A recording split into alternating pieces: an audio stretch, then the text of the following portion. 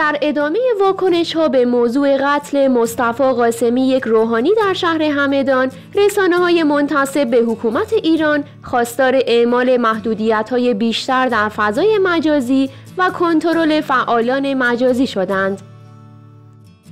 خبرگزاری فارس در همین رابطه با انتشار پستی در اینستاگرام مهناز افشار بازیگر زن سینمای ایران را از مقصران قتل این روحانی همدانی معرفی کرد. این خبرگزاری ادعا کرده رسانه ها به نقل از یکی از دوستان قاتل روحانی همدانی نوشتند که علت قتل خبر دروغ مربوط به توصیه یک روحانی برای ازدواج زنان ایرانی با نیروهای هشت و شنبی بوده است. از آنجا که خانم مهناز افشار هم در صفحه شخصی خود این شایعه ناروا را منتشر کردند تعداد زیادی از کاربران با هشتگ محاکمه مهناز افشار خواستار برخورد غذایی با وی شدند. مهناز افشار چند روز پیش توییتی از یک روحانی به نام سید مصطفی حجازی منتشر کرد که در آن از زنان ایرانی خواسته شده بود سیغه نیروهای شبه نظامی هشت و شعبی شوند که مدتی وارد مناطق جنوبی ایران شدند. علت حضور این نیروها امداد رسانی به سیل زدگان عنوان شده است باشگاه خبرنگاران جوان روز یک شنبه هشتم اردیبهشت ما در خبری نوشت نام این روحانی غفار دریاباری اهل مازندران است که اصلا صفحه‌ای در توییتر ندارد و تصویرش توسط ضد انقلاب به سرقت رفته و صفحات فیک آن را مورد سوء استفاده خود قرار دادند. مهناز افشار توییتش درباره این فرد را از حساب کاربریش حذف کرد اما حمله های کاربران عمدتا حامی حکومت ایران علیه او در توییتر همچنان ادامه دارد این کاربران افشار را به همدستی با دشمن و عامل ناامن کننده فضای مجازی خواندند. در این بین اما عبدالله رمزانزاده سخنگوی دولت اصلاحات در توییتر خود خطای پلیس در تشخیص های امنیتی کشور را سبب این گونه حوادث خواند و نوشت آنقدر حواسشان به افتادن روسری خانم ها در داخل اتومبیل پرت شده که تهدید علنی مسلحانه یک شرور را در دو سال اخیر ندیدند. همچنین عبدالرضا رحمانی فضلی وزیر کشور ایران و حسین نوری همدانی یکی از مراجع تقلید هم خواستار اعمال کنترل بیشتر بر فضای مجازی شدند. رحمانی فضلی در یک پست اینستاگرامی که روز دوشنبه نهم اردیبهشت ما منتشر کرد فضای مجازی را بر سرساز جنایات و اتفاقات تاسفبار خواند وی گفت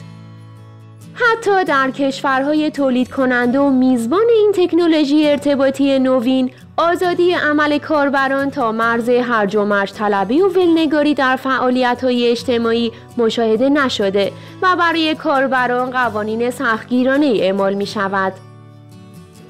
رحمانی فضلی در این پست ضمن درخواست از مردم برای مراقبت بیشتر و گزارش دادن تخلفات بر ضرورت ایجاد بسترهای مناسب و امن دیجیتالی برای کسب اطلاعات مردمی تاکید کرد. همچنین حسین نوری همدانی مرجع تقلید در واکنشی بر ضرورت بومیسازی اینترنت تاکید کرد و گفت بارها به آفتهای فضای مجازی اشاره داشتیم و نسبت به کنترل و بومیسازی آن تذکر دادیم. اما متاسفانه مسئولان مثل خیلی از مسائل دیگر از جمله بهبود وضعیت اقتصادی و غیره توجهی نکردند. واکنش ها به فعالیت های مجازی قاتل این روحانی همدانی در این استگرام در حالی است که پلیس فضای تولید و تبادل اطلاعات فرماندهی انتظامی استان همدان توضیح متفاوتی ارائه داده. فیروز سرخوش نهاد رئیس پلیس فتای همدان در این رابطه گفت این فرد تا هنگام وقوع قتل هیچ گونه تصویری مبنی بر برنامه ریزی و قصد قتل بر روی صفحه اینستاگرام خود بارگذاری نکرده بود که مورد پیگیری قرار گیرد. صبح شنبه هفتم اردیبهشت ما مصطفی قاسمی روحانی 46 ساله همدانی بر اثر وقوع تیراندازی در کوچه آخون در خیابان شهدای همدان جان خود را از دست داد وی امام جماعت مسجد حاج کربلی بود و چندی پیش هم در حوزه علمیه دامغانی به عنوان مسئول کتابخانه فعالیت می کرد. بنا به گفته یکی از شاهدان عینی حادثه این روحانی وقتی از حوزه علمی خارج شده از پشت به ضرب دو گلوله توسط زارب به قتل می‌رسد بعد از وقوع این قتل زارب که بهروز حاجیلوی نام داشت در صفحه این اینستاگرام خود نسبت به قتل این روحانی اعتراف می کند. پلیس هم که بلافاصله در صحنه وقوع جرم حاضر شده بود بعد از انتشار مطلب در صفحه اینستاگرام این زارب خبر از شناسایی او می دهد و عنوان می کند برادر قاتل دستگیر شده و خودرویی که از آن در جریان وقوع قتل استفاده شده نیز متعلق به برادر او بوده. بهروز حاجیلوی نیز صبح روز بعد از قتل در درگیری با نیروی انتظامی و مجروح کردن دو تن از نیروهای ناجا کشته شد. پس از انتشار خبر قتل طلبه همدانی فیلمی در فضای مجازی منتشر شد که در آن یکی از دوستان و همفکران بهروز حاجیلویی از وی به خاطر قتل طلبه همدانی تشکر می کند و این اقدام را متأثر از دستور رضا پهلوی فرزند شاه می داند و مردم را نیز به این کار تشویق می کند. اما نکته مهم در صحبتهای این فرد اشاره به فتوای ساختگی از یک روحانی است که چند روز پیش در فضای مجازی مورد توجه کاربران قرار گرفت. ماجرا از این قرار بود که چند روز گذشته یک حساب توییتری جعلی با تصویر یک روحانی مازندرانی زنان را به نکاح با نیروهای هشت و شبی که برای کمک به سیل زدگان در خوزستان بودند تشویق کرد. افشار همین اکانت جعلی را بازنش داد و در محکومیت آن توییتی منتشر کرد و به نوعی این شایعه پا گرفته در فضای مجازی را بیش از پیش قوت بخشید. کبرا آسوپار نیز در این زمینه نوشت ویدیویی که این فرد از خود پخش کرد نکته دیگری هم دارد وی می‌گوید دلیل این قتل فتوایی است که این روحانی داده و در آن زنان ایرانی را دعوت کرده به عقد موقت نیروهای هشت و شعبی درآیند و آن را جهاد نکاح نامیده است.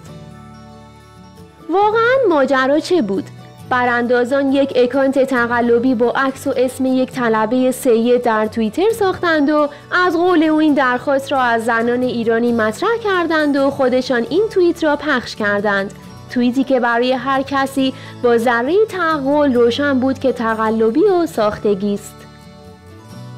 این توییت با کمک مهنوز افشار بازیگر پرهاشیه سینما که آن را در صفحه شخصی توییترش قرار داد بیشتر و بیشتر دیده شد.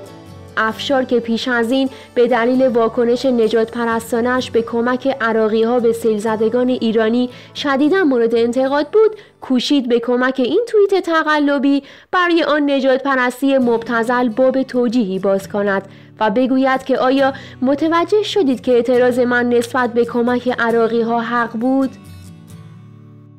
وحید یامینپور هم در توییتی نوشت بی سواد یا ابله دانستن امثال مهناز افشار تقلیل در نقش آنها در فجایع و جنایات است. در واقع کاربران توییتر معتقدند قتل این طلبه نتیجه نفرت پراکنی و ایجاد حس بدبینی و خشونتی است که برخی از سلبریتی ها همچون مهناز افشار در بره های مختلف ایجاد کردند. این کاربران همچنین به موزگیری ها و توییت های گذشته این سلبریتی نیز که هاشی ساز و کز بوده اشاره کردند. از جمله انتشار توییتی در مورد دنیا ویسی دانش آموز هفت ساله سنندجی که بر اثر ریزش دیوار فرسوده مدرسه ای از دنیا می رود و مهناز افشار تنها بر اساس شنیده ها موضوع تجاوز و قتل این دختر خردسال را مطرح کرد. گرچه این موضوع خیلی زود تکذیب شد اما خانواده آن دختر هنوز با این مسئله دست و پنجه نرم می کنند و یا تبلیغ یک داروی مرگاور در صفحه شخصی خود که این موضوع نیز صدای پزشکان و داروسازان را درآورد. حالا هم که دوست بهروز حاجیلویی با انتشار ویدیویی اعلام کرده که انگیزه وی از کشتن طلبه همدانی انتقام گرفتن از روحانیت به دلیل صدور چنین فتوایی بوده. کاربران توییتر با انتشار پست های انتقادی در محکومیت این گونه تحرکات در فضای مجازی تاکید کردند که مهناز افشار با اظهار نظرهای غیر کارشناسی و بازنشر یک پست جعلی باعث تحریک برخی از افراد جامعه شده است. همچنین صدها نفر با امضای یک کمپین خواستار رسیدگی غذایی به توییت مهناز افشار شدند امضا کنندگان می‌گویند اظهارات حاشیه ساز این سلبریتی در فضای مجازی زمین ساز کشته شدن طلبه همدانی شده است